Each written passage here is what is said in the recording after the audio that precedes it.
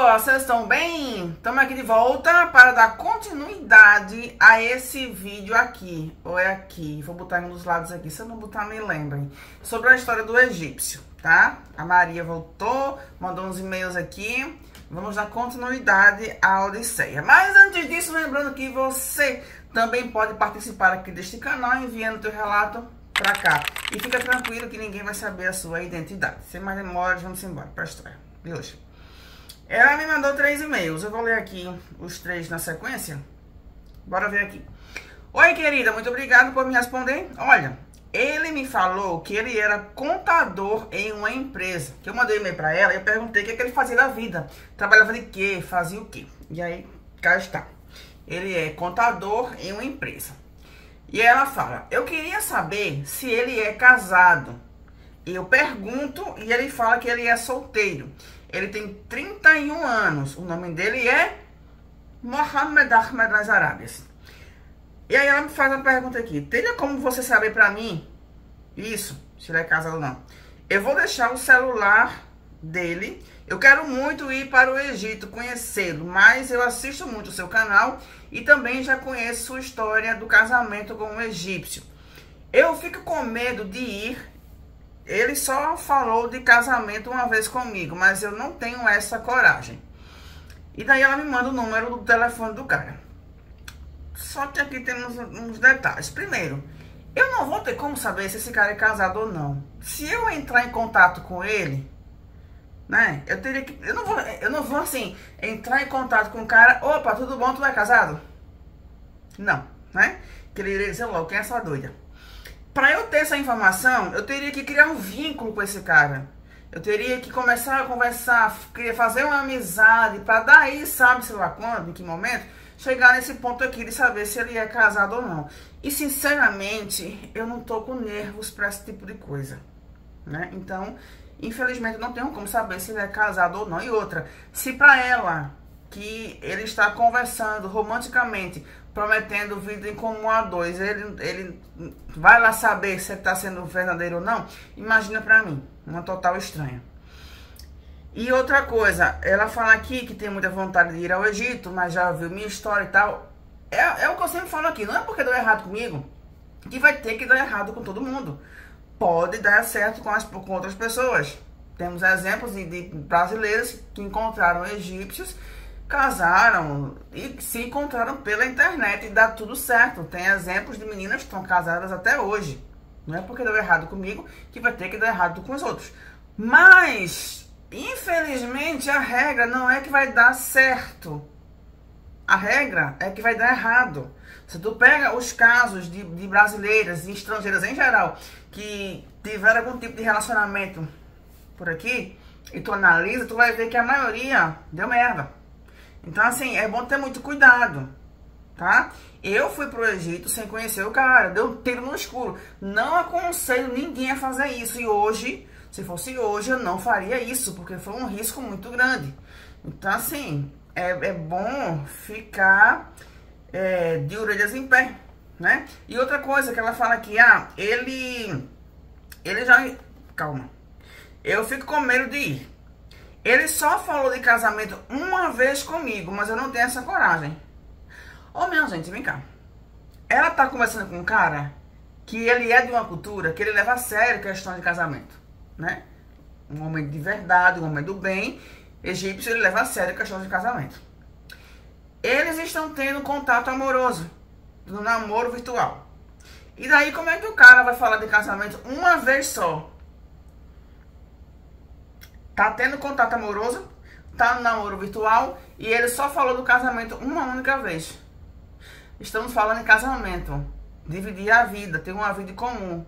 Eu não tô falando de ir ali ao cinema quando der, quando quiser, se o filme prestar, ou de comprar uma roupa ali, ou de tomar um sorvete na esquina, não. Eu tô falando de casamento.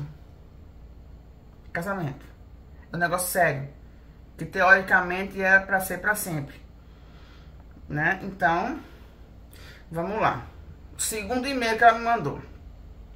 Oi, Nadir, desculpa se eu estou te pedindo muito. Não, não tá me pedindo muito de jeito nenhum.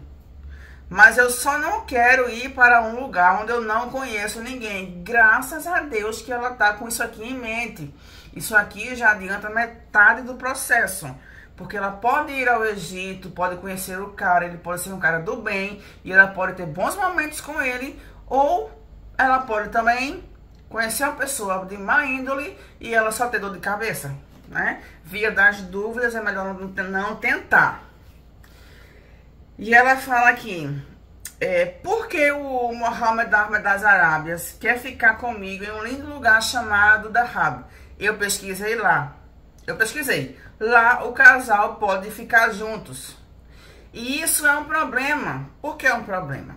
Na cultura egípcia, tá? Não tem essa de namorados ficarem juntinhos, sozinhos, viajar sozinhos. Claro que toda regra tem a exceção. É claro que vai ter um ou outro de, enfim, que não viva de um modo tão tradicional que vai sair desta regra. Mas a regra é essa. Tu não vai encontrar casaizinhos tão livres, leves e soltos como é aqui no Brasil. Aí o cara conhece a menina aqui pela internet. Chama ela para ir lá pro Egito. Detalhe, ele mora na Alexandria. E ele quer levá-la para Dahab. São dois extremos. Por que não levá-la para Alexandria? Praia por praia, Alexandria também tem praia. Mas não, vai levar a menina lá para outro lado, do outro lado do planeta. Tá? Vai levar para um lugar onde eles podem ficar sozinhos. Mas é sério que a intenção desse cara é casar, ter filhos e andar no parquinho do domingo de tarde? Não sei. E o último e-mail ela fala o seguinte: Bom dia, querida. Eu vou esclarecer a história que assisti no seu canal. Bem, as nossas conversas são de namoro. Ele sempre fala que me ama. Da primeira pausa aqui.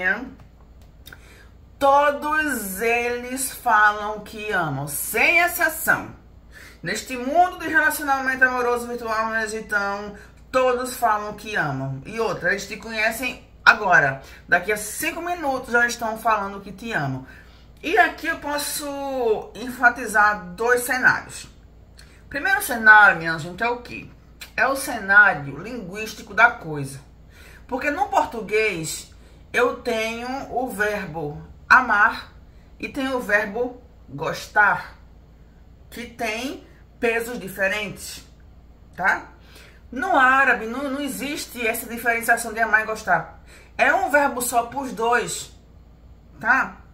Então, assim, na, na, mente árabe dele, ele pode chegar no, ao padeiro da esquina e dizer que ama o padeiro. E ele vai chegar para a esposa dele e vai usar a mesma palavra para dizer que ama a esposa. O que vai diferenciar o amor, o amor que ele sente pelo padeiro, pelo amor que ele sente pela esposa, é o cenário do padeiro e o cenário da esposa. Mas em termos de palavra, é a mesma coisa. Então, de repente, o cara fala, ah, eu te amo. Não é nem eu te amo de eu quero casar contigo e ter filhos e um cachorrinho passear no à tarde. Não. De repente, esse eu te amo que ele está dizendo, traduzindo para o português, é tipo assim, olha, eu gosto de tu. Eu gosto da tua companhia. Eu gosto de estar conversando contigo. Né? De repente, pode ser isso. E de repente, pode ser safadeza. Pode ser somente um cara que está querendo te iludir, brincar contigo, de alguma forma tirar algum proveito dessa situação. Né? Então, de repente, eu te amo, não é eu te amo nos moldes que nós conhecemos na língua portuguesa. Continuando, ele sempre fala que me ama, que reza muito para eu ir no Egito e eu não tenho tanto dinheiro. Eu trabalho, eu tenho a minha casa e o meu dinheiro. Bem, eu iria arcar com as despesas de ida e de volta. Mas eu ia ter realmente que tirar das minhas economias. Pronto, minha filha, isso aqui já fecha tudo. Baixa o fogo, tu não vai para canto nenhum. Manda ele vir para cá. Pronto, manda ele vir para cá. Tá? Vai correr risco? Vai correr risco. Mas pelo menos tu estarás na tua margem de segurança, tu estarás no teu país, qualquer merda que der aqui fica mais fácil de resolver. Manda ele vir pra cá. Porque para e pensa comigo. Tu vai pegar todas as tuas economias e vai se embora pro Egito. Tá. Vamos botar quanto daí, minha gente? Eu tô meio sem noção de passagens atualizadas, mas com tudo, sei lá, uns 10 mil reais talvez, e com tudo, tô falando em tudo tá? Passagem, gasto que ela vai ter lá, passaporte, visto, com tudo. Vamos botar uns 10 mil reais aí. Aí tu pega as tuas economias, tu gasta para conhecer o boy lá no Egito. E depois, como é que fica? Depois, tu tiver uma dor de cabeça e tiver que comprar uma caixinha de Rivotril, como é que vai comprar se não tem mais economia? Que assim, economia, já tá falando, é, é economias, é margem de segurança. Tu não pode raspar a tua margem de segurança para questões que não são emergência. Economias é para emergência. Aí tu pega a tua margem de segurança e tu raspa toda, e se ocorrer uma emergência, tu vai fazer o quê? A menos que tu tenha como repor essas economias que tu vai tirar em um longo período de tempo, em um futuro próximo. Tudo bem. Mas fora isso, baixa o fogo. Baixa o fogo, vai pra canto nenhum e manda esse cara vir pra cá. Né? E ele não vai vir. Por que ele não vai vir? Porque eu desconfio que esse cara é mais um daqueles malassombros da vida, que não tem nada que fazer, que tá com a vida financeira lascada e só tá procurando na estrangeira uma forma de se beneficiar. Tá? Eu tenho essa desconfiança. Vamos prosseguir aqui. Eu falei que eu ia ficar em Alexandria e ele disse que não precisava, pois ele já estava com o nosso roteiro romântico, que seria irmos para Dahab. Um, um problema aqui. Como é que o cara tá conversando contigo amorosamente, o cara fala que quer casar contigo, e aí tu vai lá pro Egito, tu não tá indo pra tua cidade vizinha, que qualquer dia tu pode pegar um ônibus e ir. Não, tu não tá indo para o estado vizinho, que tu pode pegar ou também um ônibus ou um avião e ir. Não, tu tá indo para um outro continente, né? Que tu não vai poder ir toda semana, todo mês. E essa seria a oportunidade de que do cara te apresentar a família dele. Se ele quer alguma coisa séria, a primeira coisa era ele te apresentar a família dele. Não, o cara vai te levar não sei quantos quilômetros de distância para um lugar onde ele vai poder, um, provavelmente, um local 100% turístico, e aí ele vai poder ficar sozinho contigo para ler o Alcorão. É, porque ele quer ler o Alcorão, ele quer ficar num ambiente mais discreto, mais íntimo para ler o Alcorão, né? E assim, como é que, como é que dá para achar que dá para vir alguma coisa boa disso aí? Aí, beleza, vocês vão lá para Dahab, ficam lá, vai ler o Alcorão, aspas, beleza. Tu volta pro Brasil.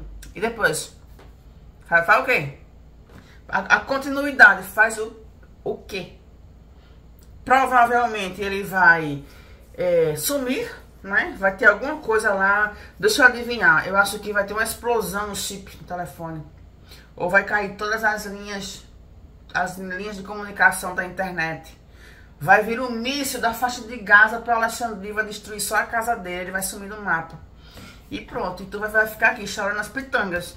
E chorando nas pitangas sem as tuas economias, que é o pior. Continuando. Mas eu não sou louca de ir. Graças a Deus. Fica até mais calma com isso. Vontade eu tenho, mas o medo é maior. Ele é um homem muito lindo. Fala lindas palavras, improviso chamada poucas vezes. Eu já perguntei para ele se ele tinha intenção de ter um relacionamento sério comigo, como casamento. E ele disse que sim. Tem não. Pausa aqui. Tem não. Se ele tivesse uma intenção de ter um relacionamento sério contigo, a primeiríssima coisa que ele ia fazer era te apresentar a família dele. Mentira, ele não tem não. Mas eu não conheço ninguém na família dele, exatamente. Por isso, e por isso eu te pedi ajuda. Chamei ele para vir ao Brasil, ele fala que não pode por causa do trabalho. Tá, é trabalho escravo? Tem férias, não? Trabalho os 12 meses do ano? Tem... Ah, é trabalho escravo. Tá, tá, tá bem construindo alguma pirâmide nova, né? Que não tem férias? Não, filha. Ele não vem ao Brasil porque ele não tem dinheiro para arcar com todas as despesas, com todas as exigências de vir ao Brasil como turista, por isso que ele não vem, tá? O que eu acho que tu deve fazer é correr disso aqui, vai, cara, vai, vai fora, vai, corre, ligeiro, bota o quinta marcha e acelera, corre para as colinas, porque isso aqui não tem futuro não, tá? Minha opinião. E vocês aí, meu povo, o que, é que vocês teriam para dizer para ela? Vamos para os comentários, nos veremos lá e no próximo vídeo. Tchau, tchau.